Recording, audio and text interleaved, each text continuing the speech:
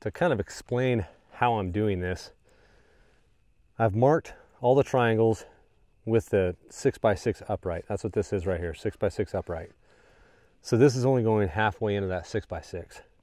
The bigger triangles, I marked both sides of the 6x6, and this line right here is 5 inches down. So this is the top of that 6x6 upright.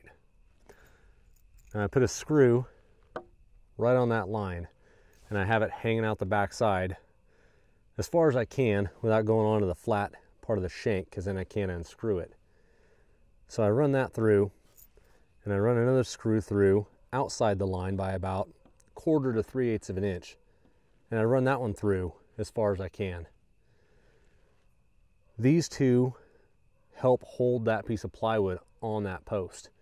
Now, if this is a bigger, one of the bigger triangles, then I'd have one on each side. So when you go to line this up on the post, you hang it from the screw on the top. The screws on the outside have a little bit of wiggle room. And then the tip on the bottom, you line up with the center of that 6x6. Run the screws in down here. Take these centering screws and hanging screws out, and you're all good. I've got just enough daylight to hang this last one up and get inside before it gets dark. So hang out for a second. I'm going to get this last one done.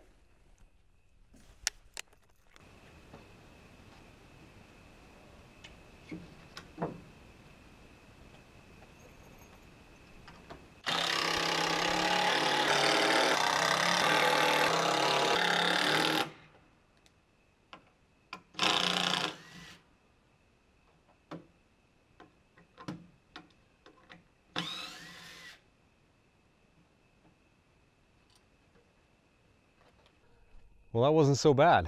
As soon as I figured out to put that screw up top and the two screws on the sides, so I have something to kind of hang it on the post, hold it with one hand, screw it in with the other. Pretty simple.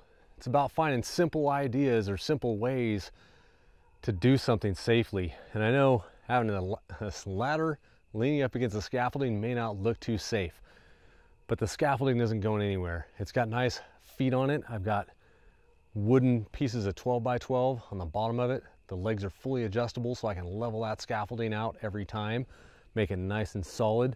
The ladder leans up against it. It might give or settle just a tiny bit as I first start walking up, but after that, it's rock solid. I never had to worry about it. I never felt unsafe or unstable. As long as the feet on the ladder were planted in the ground and the scaffolding was leveled out, just rock solid. Now I do have two triangles up there on this end, right in the middle there. Those two triangles are smaller than the others.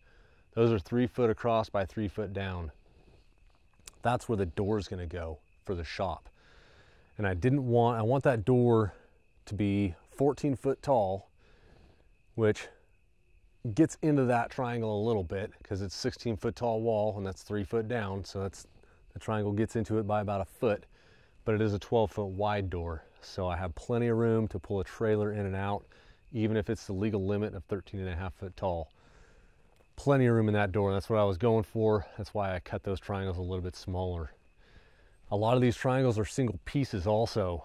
These ones on the side, those are single pieces for the most part.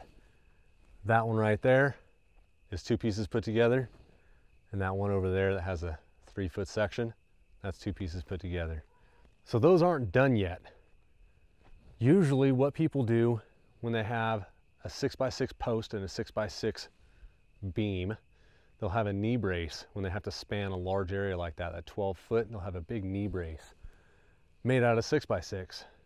Unfortunately, that's kind of heavy and I have no way of holding it up with one hand and screwing it in with the other with big lag bolts. So I went with the plywood and what I'm gonna add in there after I put the six by six on top, I'm gonna mill out a nice two inch thick by five and a half inch wide board. I'm gonna cut 45s on it. I'm gonna lag bolt it in to the posts and lag bolt it into the beams and then screw it into the plywood or screw the plywood into it. And that's gonna keep that plywood from having the tendency to bow out with all the weight coming down as that six by six beam starts to sag or if it, if it ever wants to sag. I know a lot of people would have gone with something more substantial than a 6x6 to span 12 foot, but I think with this setup, I think we'll be just fine. Not too bad for a day project, but I'm gonna head inside. Until next time, guys, go make something.